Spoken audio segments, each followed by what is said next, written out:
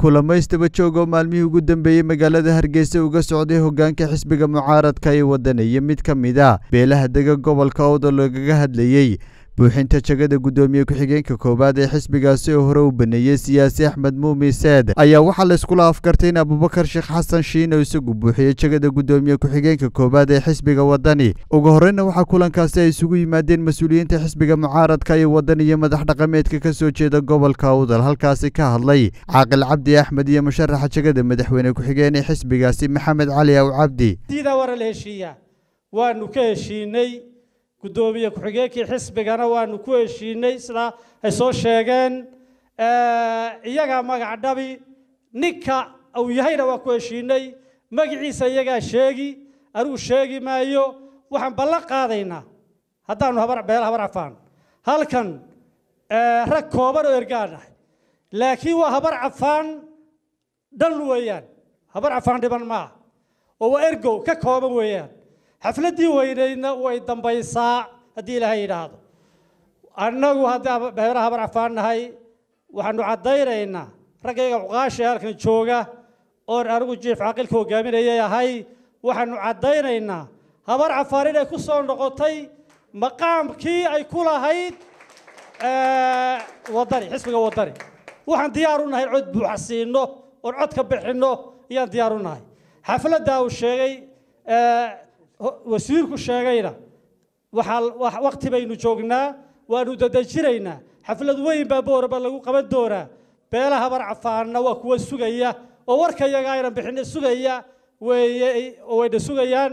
Xafladdana diyaar bay u yihiin.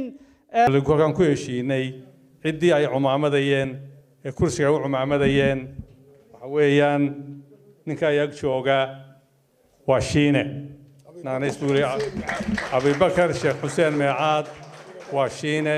Heshiiskuna wuxuu dhammaystirmi doonaa haddii alla yidhaaho marka xafladda la qabto wixii ka dhiman la dhammaystiri doonaa.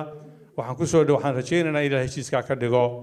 Mid khayr ka dhasho waxaan ilaahay ka rajaynaya inuu noqdo mid khilaafkii hore iyo wixii yaryaraay jiray in ilaahay awdawo ka dhaliyo sidoo kale isaguna waxaa halkaasi ka hadlay musharaxaana guddoomiyaha xisbiga mucaaradka ee waddani doctor cabdiraxmaan maxamed cabdilaahi ciro isaguna sheegay inuu ku faraxsan yihiin arrintaasi wadaxaajood laga gaadho. Tabashadii reerku ka tabanayey xisbiga. Guud ahaan heshiisku uu xubno badnaa. Xubinta ugu muhiimsan waxay ahayd inay helaan meeqaamkii ay ku lahaayeen xisbiga. Waxaan lagu guulaystay in meeqaamkiina loo soo celiyo. Oo guddoomiye ku-xigeenkii koowaad loo soo celiyo in ka badanna loogu daro. Ilaahay ka dhigo heshiiskuna insha allahu wuxuu mari doonaa nidaamkii dee jaranjarada ee xisbiga waana dhammaystirmayaa waxyaabihi ay reerka soo codsadeenna waa la tixgeliyey waana la aqbalay. Markaa kole waktigu may waanu mahadnaqaynaa oqaasha jiifka hogaaminayo cabdi waxaanu mahadnaqayaa dhammaan siyaasiyiinta iyo aqoonyahanka iyo madaxda xisbiga.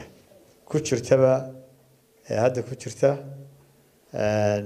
waxaan rajaynayaa insha allahu taasi inay dadka taageeraya xisbiga waddanina ka farxiso.